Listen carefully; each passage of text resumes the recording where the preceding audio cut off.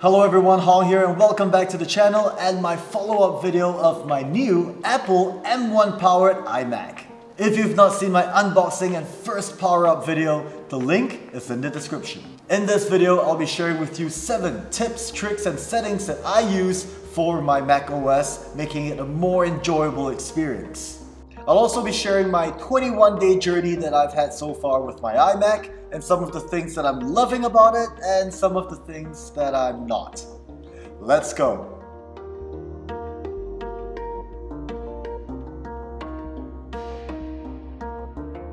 So my M1 iMac is equipped with the 512GB SSD hard drive and I was not willing to spend an additional $300 to bump it up to 1 terabyte. And if you want to bump this up to 2 terabyte, you got to spend an additional $900, which in my personal opinion is just a little bit too expensive. So for those of you who are keen on getting the new iMac or the MacBook Air, MacBook Pro, or even the iPads, my advice to you is to get one of these. SSD portable hard disk drives because they're a lot more affordable. They range between 250 to 350 depending on the brand, model, and size. This 2 terabyte one I got cost me about $300, so it's a lot more affordable as compared to upgrading it when you purchase your computer. As some of you already know, my Mac computers are mostly used for work. That means video editing on Final Cut Pro X or photo editing with Adobe Lightroom which means there are programs or apps that are preloaded into your iMac that you will never use. I know that I will never use some of these apps, taking up valuable space and storage capacity. So one of the first things I do whenever setting up a new computer is to delete all those unwanted programs and apps. With the new Mac OS, this is just as easy as deleting apps from your cell phone. You basically head over to your applications page, click and hold onto the app you want to delete, then click on the little X on the corner of the icon to uninstall. The GarageBand app, for example, takes up 948 megabytes, and the iMovie app takes up 2.42 gigabytes. Just by uninstalling these two apps that I will never use will save me close to 3.4 gigabytes. Another nifty little trick I love about macOS is its ability to scale up or scale down your desktop space. For me, having more real estate on the display is always a good thing, especially when it comes down to editing videos. To do this, just head on over to the System Preferences, hit Display, and select Scale. You can then choose to either scale up or scale down your entire display. This is also a useful feature for those of you who may wish to have things show up a little bit larger. When it comes to workflow, the Mac OS has this brilliant little tool that allows you to select all or select some files and have them all renamed at one go. Basically a batch renaming tool. And that is very, very useful, especially for photographers and videographers. Simply select the files you want to batch rename, click on rename, and replace the specific word or words with what you would prefer. And this is one of the many tools that I absolutely love about the Mac OS. Another awesome tool to help with workflow, Stacks. Like many of you, I take thousands of screenshots on a daily basis. And unless you're really diligent with renaming all your files, which I am not, then Stacks would help you quickly and easily put together all your relevant files into a stack. To activate this, all you need to do is click on View while you're on your desktop and select Use Stacks. This will immediately group your files. This allows you to have a cleaner looking desktop environment while also helping you keep things better organized. A super useful tool for messy, messy people like me. Now the next tip is also a tool that I use on a daily basis. No longer are you required to use crazy advanced photo editing software just to get the proper screenshot. Just by tapping Command, Shift, 5 at the same time, you'll open up a set of screenshot tools that will allow you to take precise screenshot images of what you have on the screen. This tool also allows you to perform screen recordings as well, making it a super handy tool. One really cool feature I recently found existed was that the language button on the keyboard that allows for quick language changes for those of you who type in multiple languages can also be customized as a shortcut for emojis and symbols. For this, you just head on over to the system preferences, click on keyboard, and then assign whatever shortcut you want to the keyboard.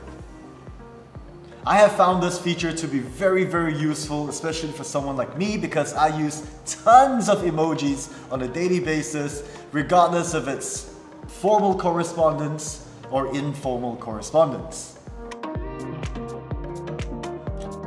The final tip that I really, really love about the Mac OS is the control center at the top right corner of the desktop. I believe the layout and style is copied over from iPhone iOS. If you recall in my unboxing video, I am a hardcore Mac OS supporter, loyal one, but I'm not an iPhone iOS user, so this function to me might not be the newest for some of you, especially if you're already on an iPhone, but for me, it's pretty darn new. And to make things even more fluid, you can actually customize your top menu bar with small little shortcut icons from this control center. Alright, so those are the seven tips, tricks, and settings that I use very frequently and something that I love about the Mac OS. What about you guys? Are there additional functions that you guys use or just have to live with? Share them with me in the comments. I would love to check them out. Okay, moving on to my three-week review of my new M1 powered Apple 24-inch iMac. It is still very easy to use. Mac OS is still intuitive as ever, if not even better compared to previous generations. And considering how I upgraded from an 11 year old Intel Core i5 iMac to this, well, the speeds and the performance are just staggering. Let's start with speed. At the end of my unboxing video, I mentioned in a little note on the side that it took this computer about 6 minutes to render and export that 13 minute 4K video. Now that is significantly faster, and I mean significantly faster than my 2015 MacBook Pro, which is my main computer I use for video editing. Obviously, because my 11 year old iMac will simply just crash and die every time I try to load a 4K video into it. Another thing I'm loving about this iMac is the fact that it is so thin. I mean, just look at this. It measures only 1 centimeter in thickness and yet offers not just a 4.5K Retina display with support for 1 billion colors, it also has a very powerful computer inside. In fact, there are monitor screens out there that are thicker and heavier that costs more than this. Having said that, the fact that it is so light, weighing in at about 4.46 to 4.48 kilograms depending on your specs and models, there is something that I would consider to be a flaw. Now if this was a laptop or a tablet or a cell phone, then sure, lighter is better, right? Because you want it to be portable. But it's a desktop computer. You don't want it that light. As you can see, when you're tilting the screen or when you're plugging in cables to the ports at the back, the whole computer moves. While I don't think this is a deal breaker, it does get a little annoying. For the next segment, I'm going to be using the Mac's built-in microphone and camera. Well, here we are. What you see right now and what you hear is straight out from the iMac, no edits to the audio and no edits to the video. And I dare say that it is pretty clear in terms of video quality and also the audio quality. This camera provides up to 1080p capabilities and also with Apple's larger sensor improves on its low light quality. For all the video conferences that I've been having these past 21 days, I have had no complaints about the video and audio clarity. As for the built-in speakers, well, let's be honest, it ain't gonna rock your house down. But its 6-speaker high-fidelity system with force cancelling woofers does a fantastic job with a clear separation between lows, mids, and highs. It is also equipped with smart wide stereo surround sound as well as spatial audio when playing music or videos with Dolby Atmos. In conclusion, I'm gonna say that the M1 powered Apple iMac has delivered and probably will continue to deliver flawlessly, no questions asked. And I can see myself using this for quite a few years. Maybe not 11 years like my previous iMac, but yeah, definitely for a couple of years. Well, that's all folks. Thank you so much for joining me. If you guys have any questions, feel free to leave them in the comments below. I will try my best to answer them. And if you guys are already on this new M1 series of computers from Apple, let me know what you guys think about them as well, because I would love to hear your feedback.